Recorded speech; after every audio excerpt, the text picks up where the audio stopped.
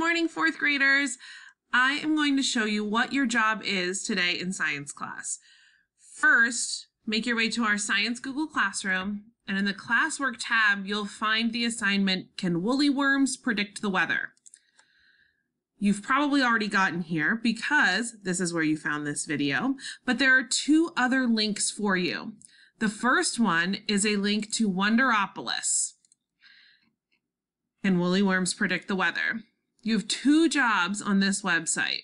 First, your choice, you can read the article or you can click this listen button at the top and have the article read to you. Doesn't matter to me as long as you um, listen to the article.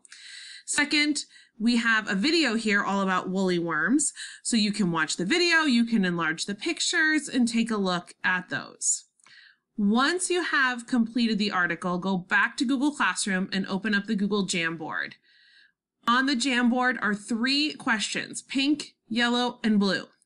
You are going to read the question, and then to answer it, add a sticky note of the same color. So my first question is in pink. Woolly worms are actually what stage of the Isabella tiger moth? Come over here to the toolbar, select the sticky note, type your answer in a complete sentence, make it pink, and save it to your Jamboard. You'll repeat the process with the yellow and the blue sticky notes. Now, for a bonus point and to prove that you have listened to my video here, you are going to insert a picture of a woolly worm anywhere on the Jamboard. So in order to do that, you go to the mountain here, add image, Google image search, and then search for woolly worm. You can find the spelling on the article or on the Jamboard. Once you finish, go back to Google Classroom and click Turn In.